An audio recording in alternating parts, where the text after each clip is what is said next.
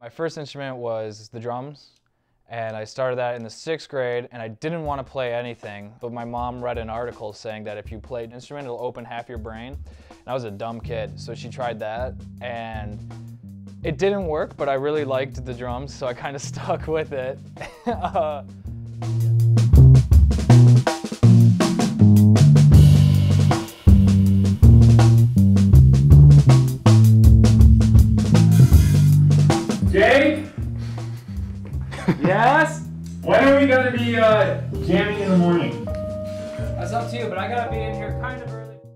I played drums through high school, and like I learned the rock and roll way, so I didn't learn to read, and I didn't really learn the drums. I learned how to be good looking on the drums and like make it so it's like everyone's like, oh my god, I'm just like, Ugh! like really fast, and no one likes that in the real music world.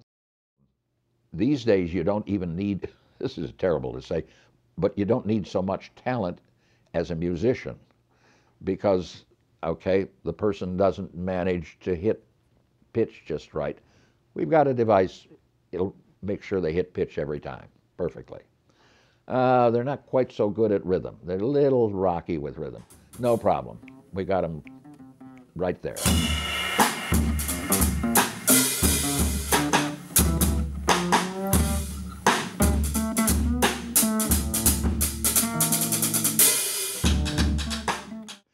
So you have situations, for example, these days where there's somebody who's really cute, we'll say, for a young guy, or really good looking for a young gal, not much talent, but they they resonate with an audience really well. Okay, do the best you can singing, and we'll make you sound really good, and they do it. Yeah, if you get a good musician and he messes up and it's a great take and he just messes up and he's like, I don't even want to redo it, it's not the end of the world to put just a, a hint of corrective software or auto-tune on it or anything like that. And it's even cool as an effect. Like T-Pain, like he's not using auto-tune because he sounds bad as a singer. He's using it because his engineer found, oh, if I crank this weird knob and do this, that I get this cool, like distorted voice. So it's an effect at that point. But using it as its main purpose, if it's done right, can actually enhance the song. Just to keep you coming home.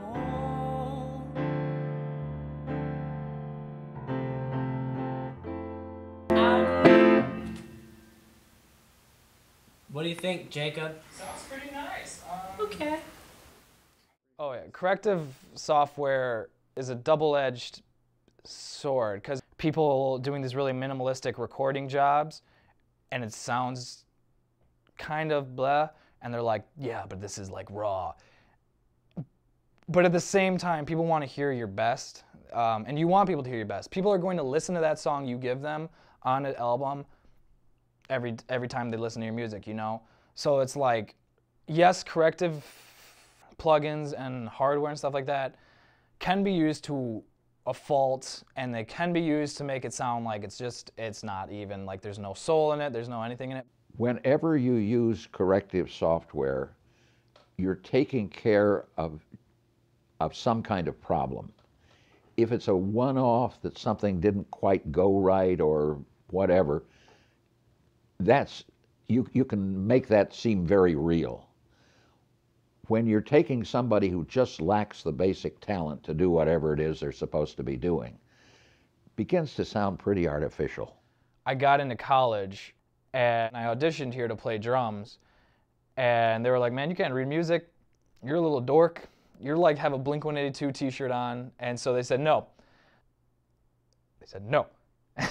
And i uh, i went into psychology for a year and i was like no this isn't happening. And i re-auditioned i got in and then i started to uh, started to really learn as a drummer really understand drums as a communication device as something that is not about yourself. You are like giving it all to the to the band. You have to be playing with them not for you. And so once i made that switch i got a whole lot better. And i uh, i started really diving into these jazz guys. And now all i listen to is jazz and the jazz sound is really based on texture and sound. And so once I started looking into that, I was like, I looked into more recording, I looked into more sound design and how to get like the best texture of my drums and stuff like that. Instead of being a main, my main goal is drumming, I really actually fell in love with the uh, recording aspect of it all. Originally, stuff was recorded one channel, and you were recording what is called a sound field. That is to say, you would get the instruments and the room they're in and record that all together because that's the sound in the end that you want anyway, the sound field. And then a very clever guitarist who invented the uh, Les Paul, you've maybe heard Les Paul and Mary Ford, he invented the solid body guitar. And he said, you know, it'd be neat if I could get as many as eight channels on a machine. Had a custom made Ampex with eight channels. And that was the start of multi channel recording.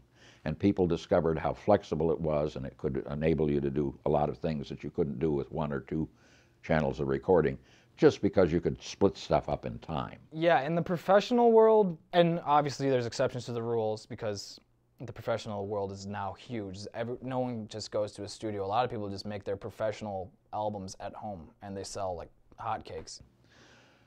What people are doing now, because the technology has gotten easier to run and less, a lot less expensive, is that they say, okay, we normally like to work with like three or four people. We don't need a studio any bigger than that.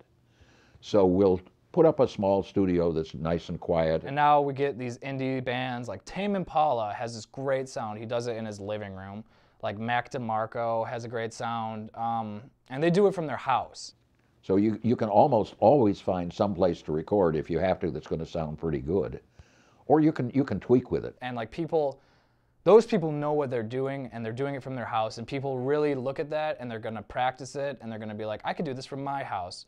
So that's going to inspire a whole new group of musicians to like record from their house, know how to record things, um, understand texture, understand frequency, and not just take it to a studio and hand it off, which I think is a great thing. It might put me out of a job, but we'll see what happens. That's one of the reasons that something like Pro Tools has become ubiquitous. Is Pro Tools the best thing to record? In my opinion, absolutely not. It was developed by salesmen. It's been pushed by salesmen. It has all of the weaknesses of something that was developed to sell rather than to impress and really work well. But uh, in a lot of studios, there is a certain element of like polish that is, you know, why a studio costs so much, why people go to a studio. Typically, in the early days, you would come in, you'd be rehearsed, the music was in front of you, you'd play, you were done.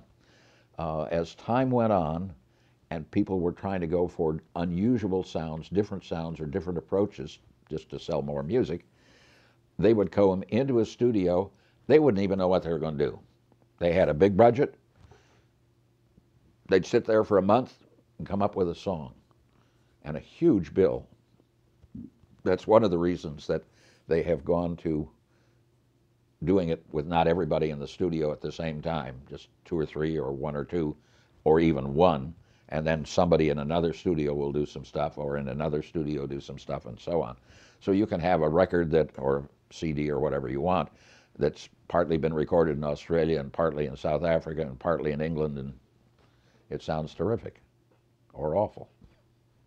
As far as like the jamming goes, it doesn't happen so much in the mainstream anymore like it used to, but it's still here. It's still kicking. It's still like, and there's this whole like hipster bring it back type thing, which is like, I think, I think when you get away from like the uh, the dorky mentality of it is a really beautiful thing. So it's yeah, because multi-channel recording is done at different times and often in different locations, you never get the cohesiveness that you can get when you have a bunch of really good musicians in a really good sounding room having a great day. That's a unique experience.